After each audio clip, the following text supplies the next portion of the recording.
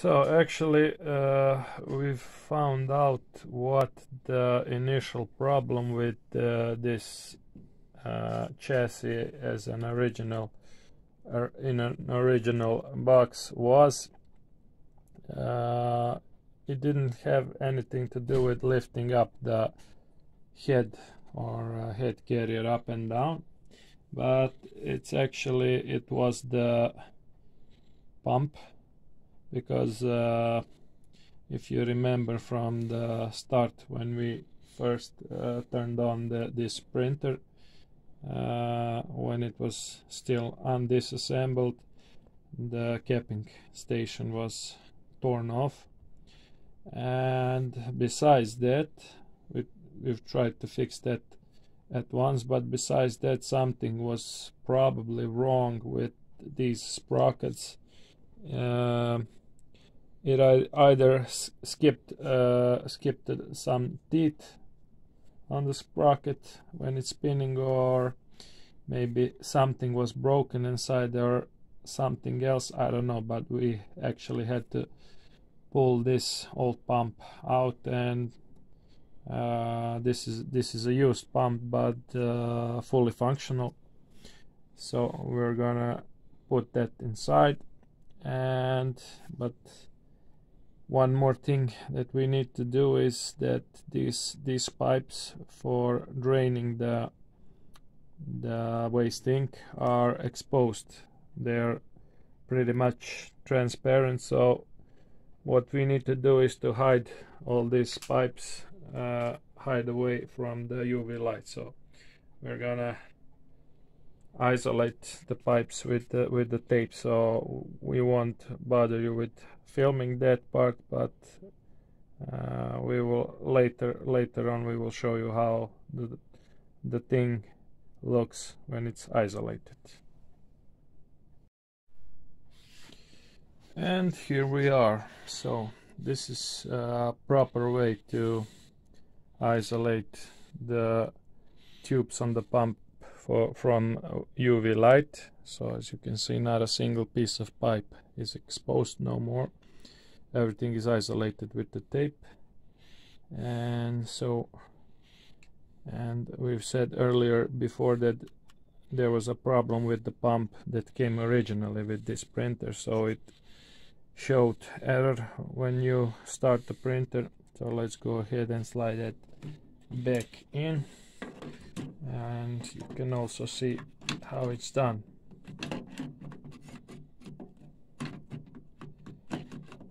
It's not that hard really but you have to know where to screw and unscrew uh,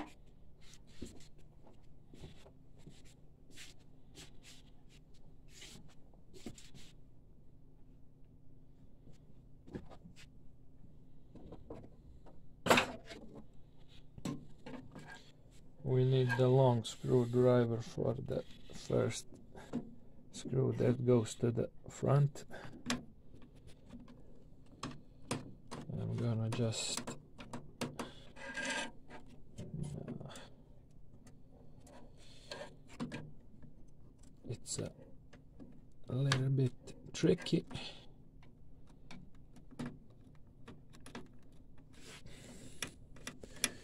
but can be done. Nevertheless that's the front side. That's the this is the holder from the side. Maybe it would be better if we fix the back side the rear side first. Only one screw on the rear side.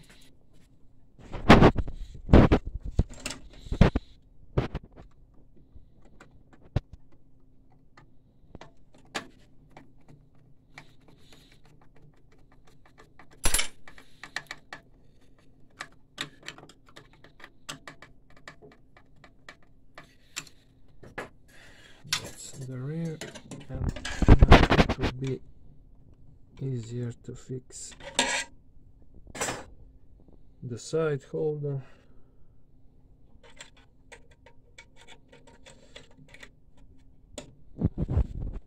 There's one one screw holding the side holder and the other goes directly through the pump.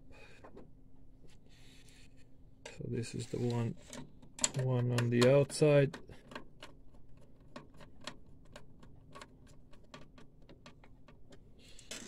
we have to place one more on the inside.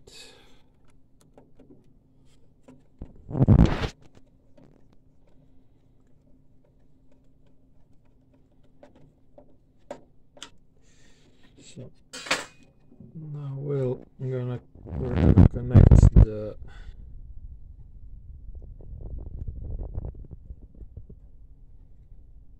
waste ink pipe that goes to the to the back. We just have to be careful not to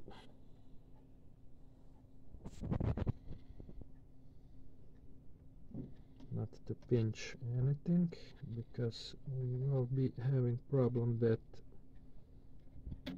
we won't be able to see later. But also of course be sure to check if the there is some waste ink exiting the the tube on the on the bottle in the rear. So I think that's fine. And we're gonna connect the pump and also we have to connect the ground.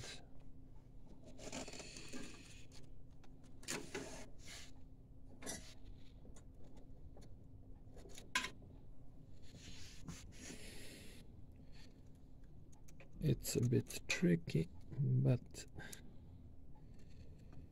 when you do it a couple of times it's not a problem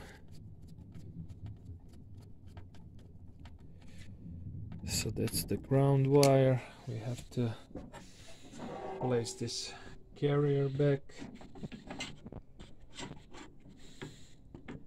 Also quite quite a tricky part. But if it's gonna just stand a bit over there screw it later that's good.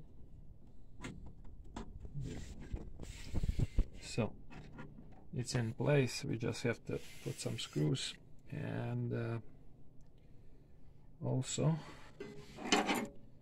we got this front front piece of metal that goes goes like this actually. We got has two uh, two screws holding it from each side.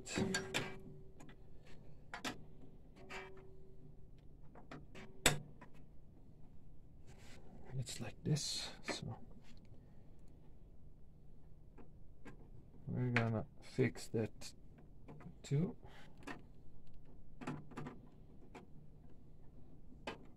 To get a bit more sturdiness in uh, the chassis. Um,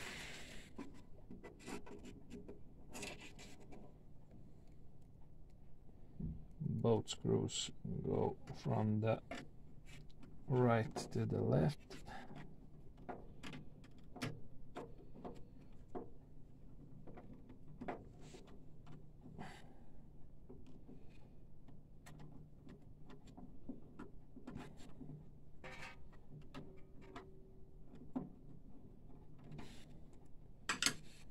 something is not really fitting properly.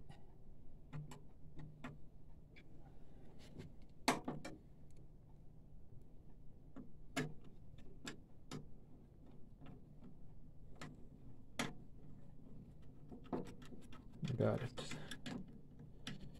So that's it. Um, actually when we turn on the printer the printer will check where the head is with this encoder strip and we'll place the head or head carrier back to its ready position ready. One more thing we have to do with this uh, printer is to test print uh, CMYK uh, test print we put the cover back on and actually we're gonna paint this cover later because there's been quite a few drips over here with the ink and we have to connect the fence on the front side. So that's just one cable over here on the side put it aside and let's turn on the flatbed. The pump is working. Turn on the UV lamp. And we've already table to the back we already have a document in the printer's memory. So if everything checks out we will be able to see all four colors printed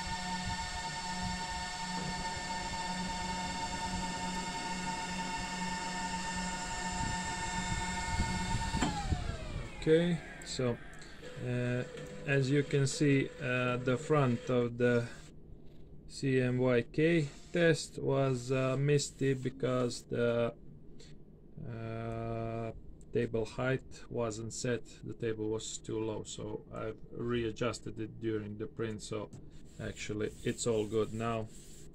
Over here pretty clean print so that will be all for this repair for this one